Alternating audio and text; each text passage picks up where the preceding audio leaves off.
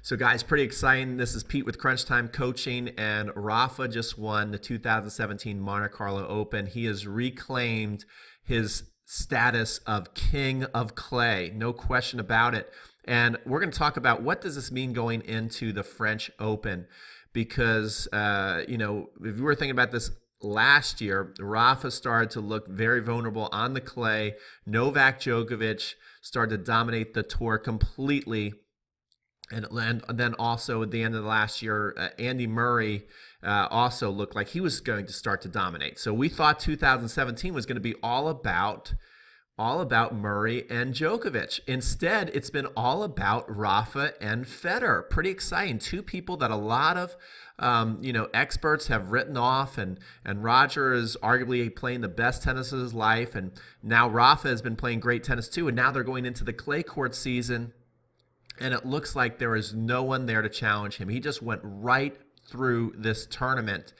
And then our other two superstars who we were thinking were going to have a great year, again, continue to show how they're struggling.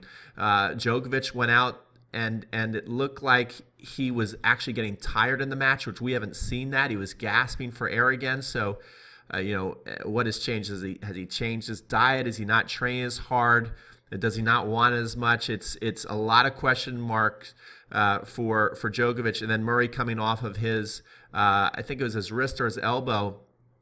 Doesn't look like he's 100% and, and lost as well. And Rafa just dominated the field.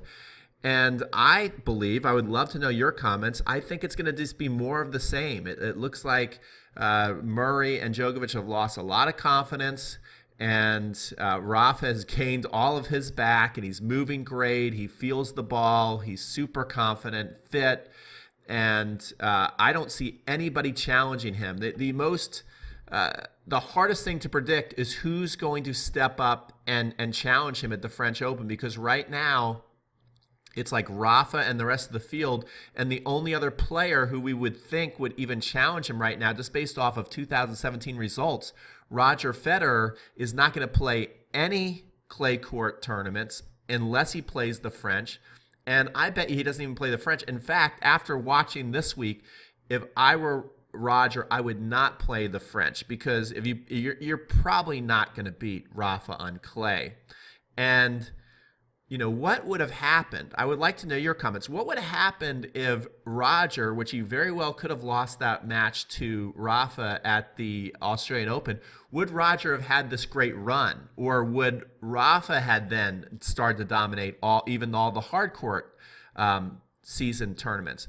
But I think it's clear that he's going to dominate the clay and I don't see anyone who's going to challenge him. I would like to know who do you think is going to be the main challenger? Is there going to be somebody who starts in this clay court season, where early in the clay court season, is somebody going to step up and start to challenge him and show that they are going to be the one that's going to be against him in the final? Is it going to be Novak? Is he going to turn it around? He he's losing, but he's losing very very tight matches. Is Murray going to find his groove? Is uh, Stan Wawrinka going to find his groove? Who's going to be the one? Who shows up and says, No, Rafa, we're going to challenge you at the French? Or is it just going to be lights out? Let's already hand the trophy to Rafa. He looks fantastic. I'm super excited. I would love to know your comments. So, uh, this is Pete from Crunch Time Coaching with just a short video on congratulating Rafael Nadal for winning uh, and starting off the clay court season in you know pretty impressive fashion. And I think we're going to see more of this. I would love to know your comments. Who's going to win the 2017 French Open?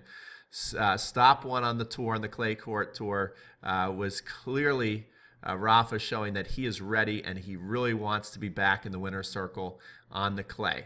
Uh, so that's it. If you like this video, guys, like it comment for sure. I'd love to know what your guys' uh, thoughts are out there and subscribe so you don't miss any of my future videos. I do lots of videos on Pro Tour results as well as many instructional videos so you guys can keep improving and enjoying your tennis.